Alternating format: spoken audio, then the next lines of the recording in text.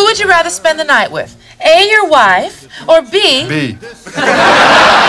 Married with Children was a wildly popular sitcom centered around Al Bundy, played by Ed O'Neill, a sarcastic shoe salesman living in Chicago with his wife, Peg, and their two teenage kids. And if you've ever seen the show, you know his character is, well, a bit grumpy. He's also misogynistic, rude, fat phobic, and his jokes always centered around making fun of the women who orbited his life. Excuse me, but am I invisible? Possibly from Pluto. Hey, let's face it, Mars, there can't be enough milk in there for a cup of coffee. Now, of course, this show was made all in good fun, sort of like how it's kind of hard to criticize The Office because that was just a different time. When I got my haircut chart, you asked me if I was a lesbian.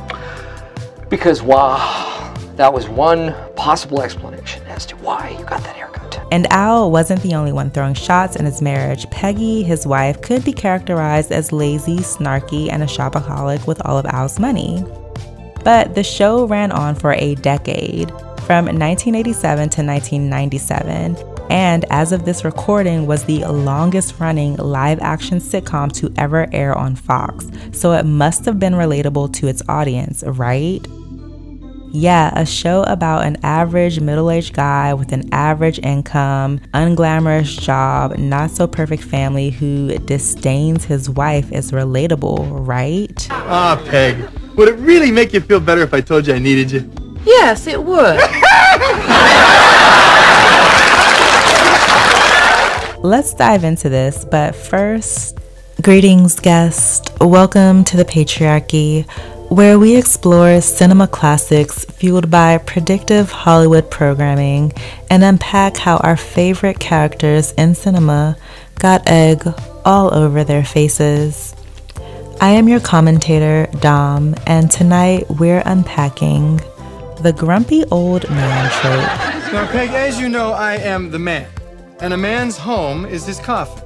With 20 million viewers in its heyday, an article from Entertainment Weekly titled Married with Children's Legacy from 1994 cites that the studio audience, heavy with baseball cap wearing dudes, whoops it up like a bunch of Raiders fans after a sack, and that taping sometimes had to stop so that they could be asked to pipe down.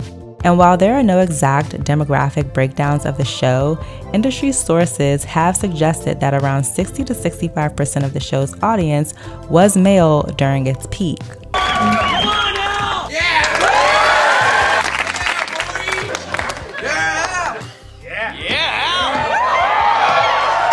This show is often seen as such a major success because of its stark contrast to all of the other perfect and a bit more wholesome family comedic sitcoms of that time, like The Cosby Show, which ran from 1984 to 1992, Full House from 1987 to 1995, and Home Improvement from 91 to 99.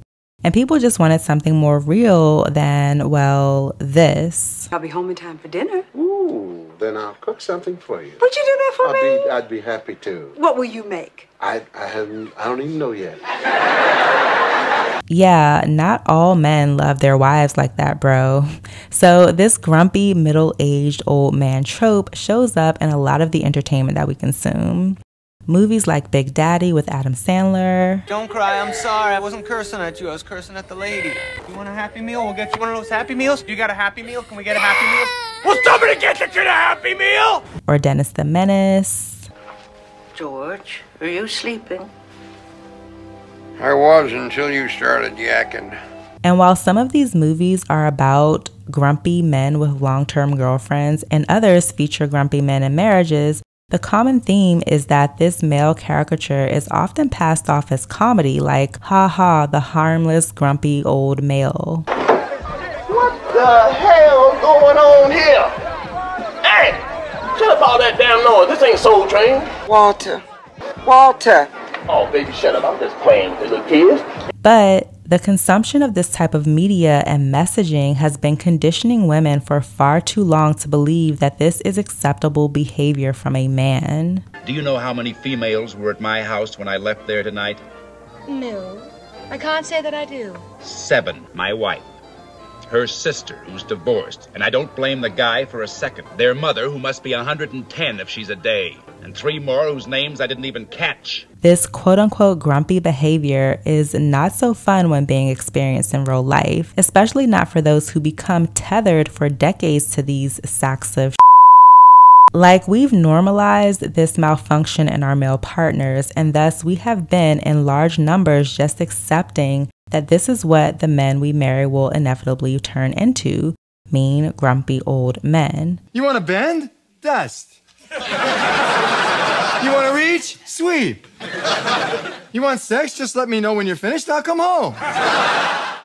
Good news is women aren't accepting that anymore. Uh, no, I'm doing fine. And even greater news is that women who have been accepting this behavior, our moms, aunties, and grandmas, their whole entire lives, are done putting up with sulky males later in life too. Now, Peg, I'm only going to say this one time. I want him out of here. I want you in the kitchen, and I want my supper now. After all, every passing minute is a chance to turn it all around. Let's talk about the gray divorce phenomenon. Gray divorce refers to the phenomenon of couples divorcing later in life, typically after age 50. This trend has been increasing in recent years, especially amongst baby boomers, and is characterized by long term married couples who decide to separate as they approach or enter into retirement. According to the NIH National Institutes of Health, as of 2019, an astounding 36% of people, that's more than one in three, getting divorced were over the age of 50, in fact, nearly 1 in 10, that's about 9% of people divorcing in 2019, were at least age 65. Larry, we need to talk. It's over? NIH also cites that gray divorce rates were low and only grew modestly between 1970 and 1990 before doubling by 2010.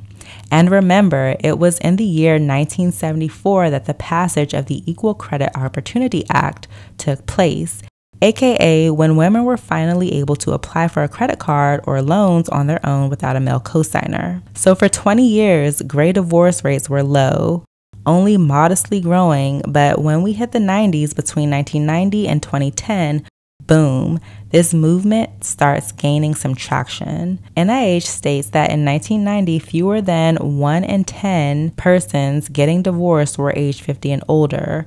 But by 2010, more than 1 in 4, or 27% of people getting divorced, were at least age 50. As stated earlier, in 2019, the rate, as of 2019, was at 36%.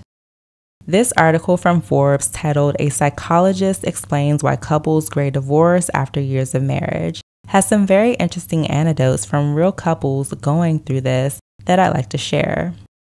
First up, Dan, age 69, and Rachel, age 68, share what led to the end of their 32 year marriage. Rachel, he studied with 25 year old girls, and suddenly he got a motorcycle driver's license, and suddenly he wouldn't come home.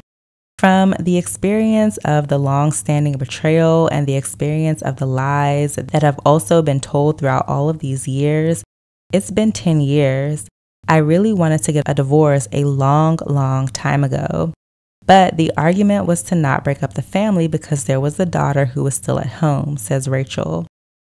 Her husband or ex husband, 69 year old Dan, says, I went to study and an amazing world opened up for me that very, very much I wanted my ex wife to be my partner in. At first, she complied, and it was a lot of fun. At some point, she either got fed up with it or it didn't interest her. The divorce was essentially a final step in the process that had started years before. And with all of the suspicion that I have someone, what she caught up on was my infidelity. That it started there, but it didn't start from there. Okay, so that last sentence from 69 year old Dan was a bit hard to follow, for me at least.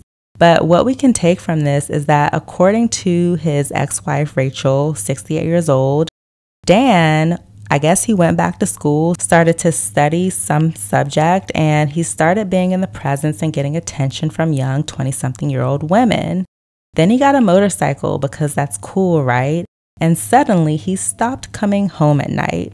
And Dan just wanted his wife to go along with his new life. He said, quote unquote, at first she complied.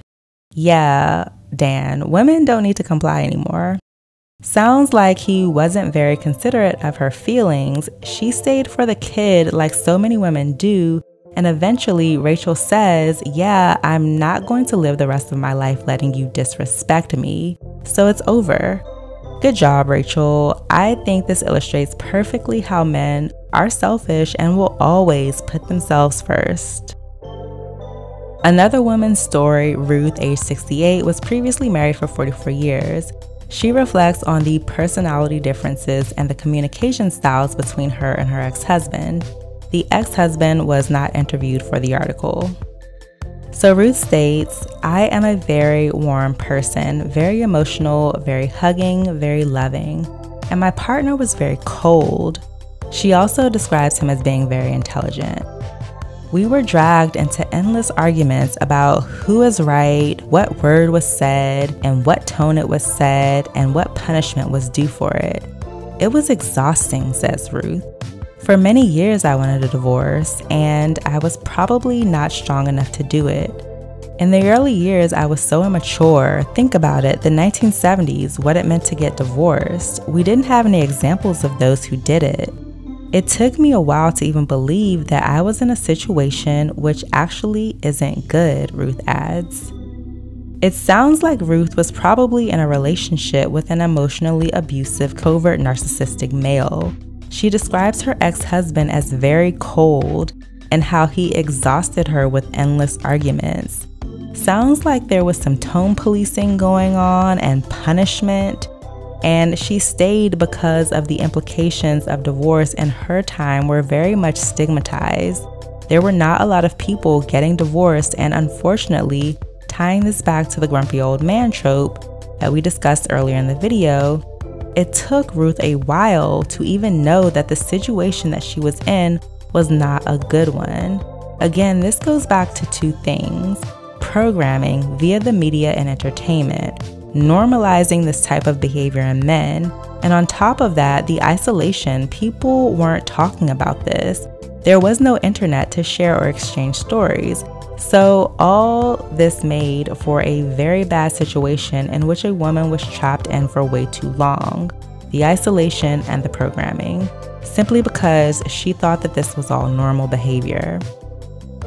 So, what are your thoughts on these topics the grumpy old man trope and gray divorce? Please share them in the comments below. I'd love to hear about it. And shout out to one of my subscribers for suggesting this topic. If you have any other suggestions on topics or films that you think I should cover, please don't be shy and write them in the comments. Also, don't forget to like, share, and subscribe if you've enjoyed this content. Signing off now, your friend Dom.